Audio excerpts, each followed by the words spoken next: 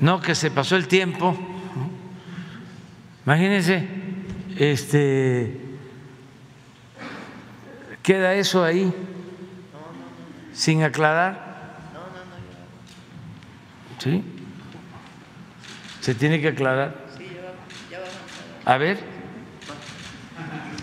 Es que es interesantísimo terminar el año así, para que no este, nos esté queriendo arrinconar, ¿cómo se llama este artículo 19? Sí.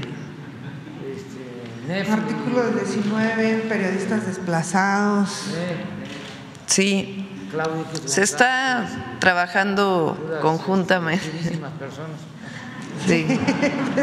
Se está trabajando conjuntamente la Secretaría de Seguridad Ciudadana del Gobierno de la Ciudad eh, por supuesto todas las imágenes del C5 y pues la encargada de la investigación, que es la Fiscalía General de Justicia de la Ciudad de México.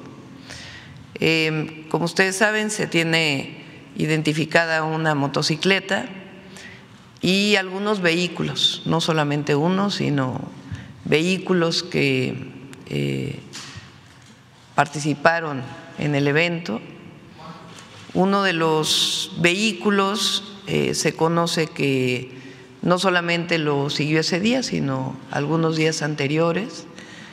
Em, hay una ubicación de dónde está este vehículo y de las personas, eh, digamos, de los autores materiales.